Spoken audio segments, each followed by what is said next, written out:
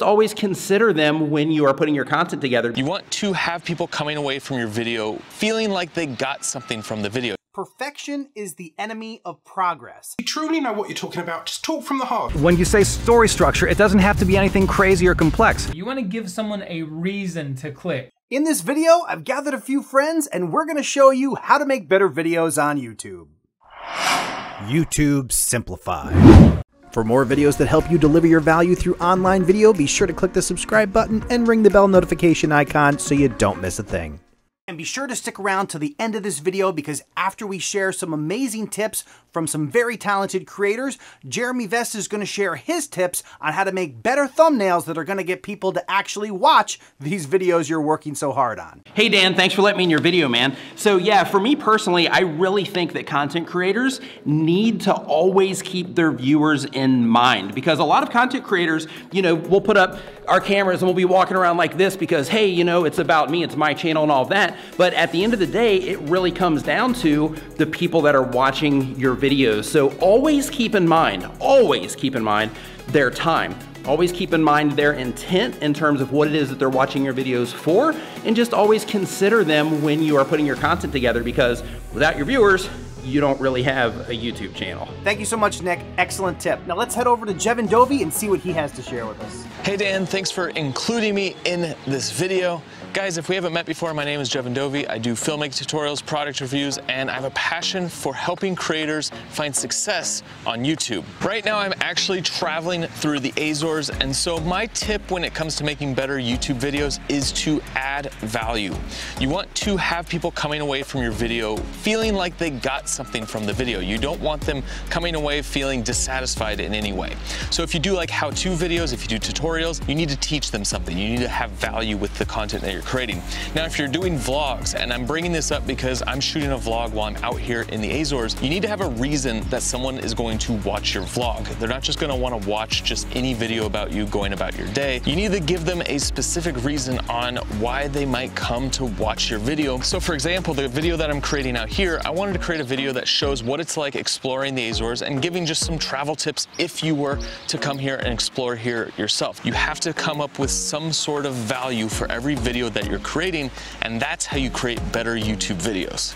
Try not to overscript yourself. Sometimes, if you've written down every single word, it can seem wooden. It can seem unauthentic, it can feel robotic. If you truly know what you're talking about, just talk from the heart. It feels more raw, it feels more genuine, it might make that connection with that subscriber and viewer. Or if you're worried and it's a long video, why not take a few bullet points down? That way you can hit every key core elements without it feeling rambly and it kind of guides you along the way and you won't forget something that's important, but then it's also not as scripted and as wooden as writing out every single word. All right, so my tip has to do with improving over time. Each time you upload a video, I want you to watch that video and try to pick out one thing that you can improve for next time. It's much more important that you move forward rather than doing everything you can to make sure every single video is perfect. You're never going to reach perfect. If you try, you're just going to prevent yourself from making content and progressing as a creator.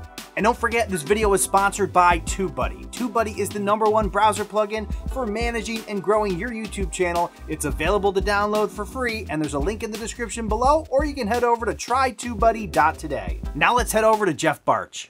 Thanks, Dan. Hey, it's Jeff Bartsch from Story Greenlight, and I will say something that I found incredibly important over my 20 years of editing television in Hollywood and now also as a YouTuber is the need to think in solid story structure. When you say story structure, it doesn't have to be anything crazy or complex. It can be something as simple as a character who wants something, overcomes conflict to get it, and experiences transformation as a result.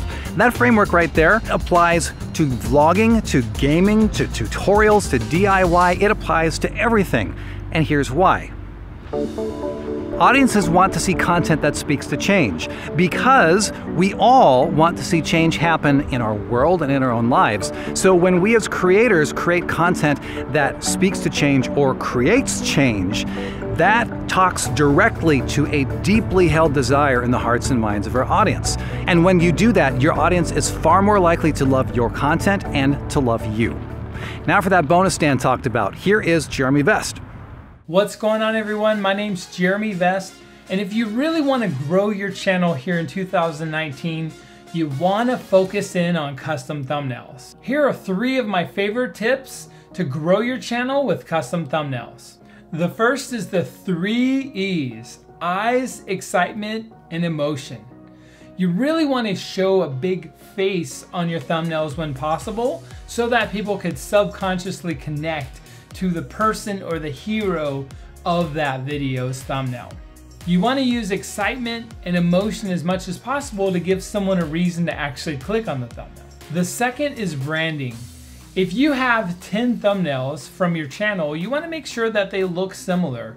You want to use the same text or typography. You want to use the same background color or logo.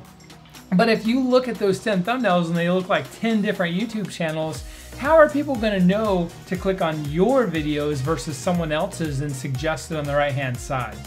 And the third tip is to create intrigue.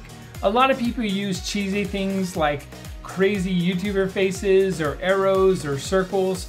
The truth is, it's not just an image, it's really something to tell a story. You want to give someone a reason to click. My favorite thumbnail of all time is Vsauce's This Is Not Yellow and it's just a yellow box.